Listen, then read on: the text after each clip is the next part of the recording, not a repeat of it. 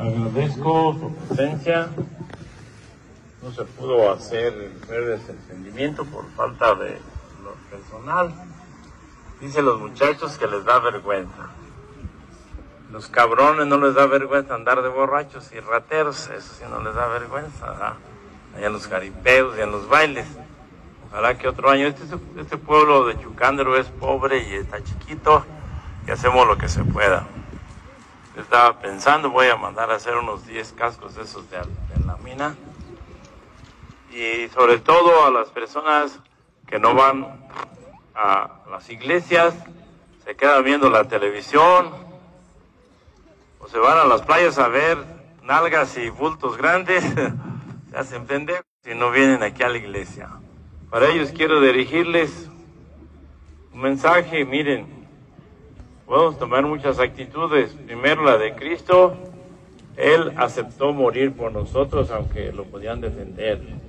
Marcos lo quiso librar, estaba envuelto en una sábana, quitaría su espada, lo agarraron y se quedaron con la pura sábana y Marcos escapó. Pedro, pues aunque lo tratamos de cobarde, no fue tan cobarde porque se metió al templo de Anás y Caifás, los enemigos de Cristo, en que dos, dos criadas lo hicieron rajarse, hasta que Cristo se le quedó viendo después de que había prometido que lo seguiría hasta la muerte, cantó tres veces el gallo y se acordó. Y de vergüenza se fue. Juan estuvo al pie de la cruz, la Magdalena, que no era ninguna mujer de la calle como muchos padres y muchas películas la sacan, era santa, es la santa de Cuiseo, aquí Michoacán, y le sacó, lo salvó de, de, siete demonios y le regalaba muchas cosas. Este, Lázaro, pues era su amigo, y los, los sacó de la tumba, ¿no? Dicen que, como un chiste, y el sacristán le dijo, no, señor cura, déjeme hablar, estos cabrones ojetes no dan nada, yo, déjeme, pásenme el micrófono. Dice, ándale pues, voy a estar abajo del púlpito.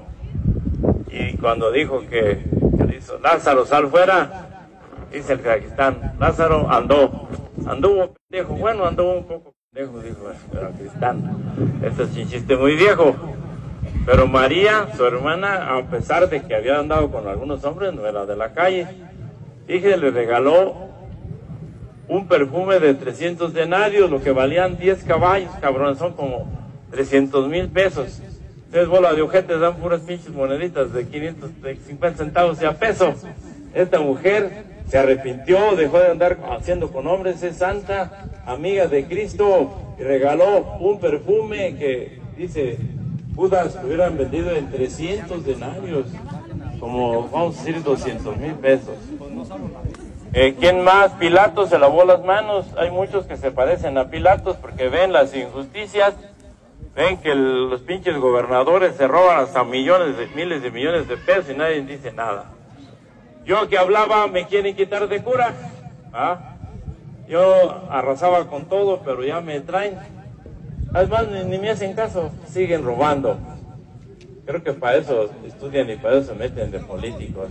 Y acá nuestro pueblo está dado la jodida. Yo no soy de ningún partido, hay buenos priistas, que hay buenos panistas, sí, pero están tan escasos que es más fácil agarrar un, un arroz negro en un costal. Entonces, otras actitudes, Pilato se lavó las manos. Su vieja hasta lo dejó, le entregó el anillo, dijo, mira cabrón, no te metas con ese hombre justo porque he tenido pesadillas. Señores, háganle caso a la señora. Las señoras tienen un sentido que no tenemos los hombres. Adivinan. Dios les dio ese don a las mujeres y ven a futuro qué es lo que pasa. Otras actitudes, Judas. ¿Quieren conocer a Judas? Vense en un espejo, cabrones.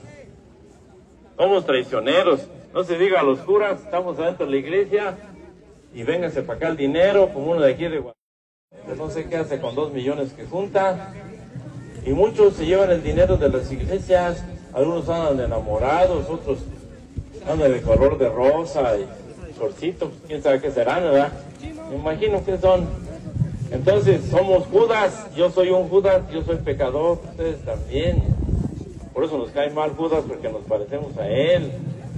La Virgen al pie de la cruz, Pero sobre todo Cristo, miren, fue servidor, le lavó los pies a todo mundo. Ustedes no sirven ni a veces ni a su mujer, ni a su papá, ni a su mamá, ni a su abuelo, ni a sus hijos. Mendigos. Son irresponsables, no quieren servir a nadie, no se quieren molestar. Padre, ¿quién le va a pagar los millones de pesos que le están metiendo a los templos y a las carreteras? Miren allá. El jefe, yo no necesito de ningún cabrón, necesito dinero. Aunque sea amigo de Cristo, también me da gusto que ya se me alivian 10 por semana de cáncer.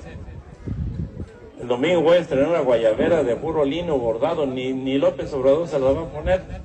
El Señor se alivió después de 240 grados que tenía de cáncer. Yo tenía ocho hijos, ya me iba a morir, tenía tres tumores, Dios me los quitó.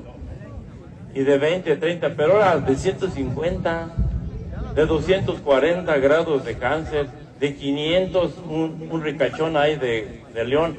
El médico le da vergüenza venir a dar las gracias, se alivió de cáncer. Hay también resurrección.